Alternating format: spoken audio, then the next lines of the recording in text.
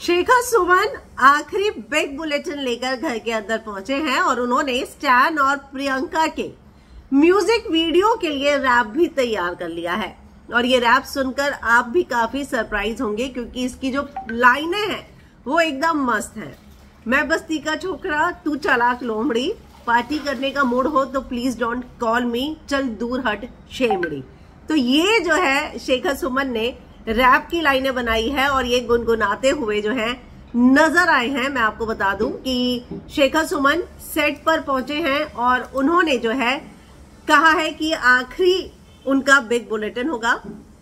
Big bulletin करके जब वो आए थे बाहर, तब उन्होंने एक ट्वीट किया था कि उनके जाने के बाद जो है वो होगा एक बड़ा एलिमिनेशन तो बड़े एलिमिनेशन का आगाज़ जो है उन्होंने पहले ही कर दिया था और बताया था कि एक बड़ा एलिमिनेशन जो है घर के अंदर होने वाला है।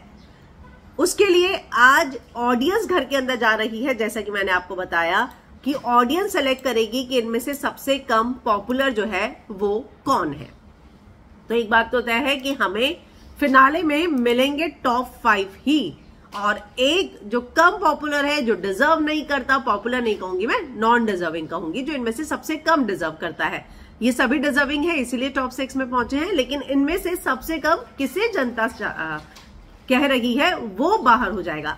तो वो मैं आपको पहले बता चुकी हूँ। तो अब ये शेखर सुमन जो है, घर के अंदर पहुँचे हैं और स्टैन और प्रियंका के म्यूज़िक वीडियो के लिए उन्होंने लिरिक्स तक तैयार कर लिया और जिस तरीके से उनका सेंस ऑफ़ ह्यूमर है, और ये लिरिक्स सुनकर जो है स्टैन काफ़ी सरप्राइज़ है और मैं आपको बता दूँ कि अगर इसी लाइन पर गाना बना कि मैं बस्ती का छोकरा, तू चलाक लोमड़ी, पार्टी करने का मूड हो तो प्लीज़ डोंट कॉल मी दूर रह दूर रह, वो शेमड़ी।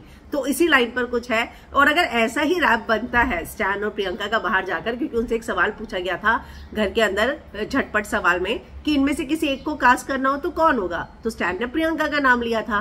तो अब अगर इसी लाइन पर कोई रैप बनता है तो मुझे लगता है कि वाकई में वो लोगों को बेहद पसंद आएगा, जो इनकी नोकझोंक है। वही रैप में अगर बनकर तैयार होती है। तो एक हिंट तो स्टैन को मिल गया है तो अब देखेंगे कि क्या वाकई में हमें स्टैन और प्रियंका का कोई ऐसा कोलाबोरेशन देखने को मिलता है या नहीं।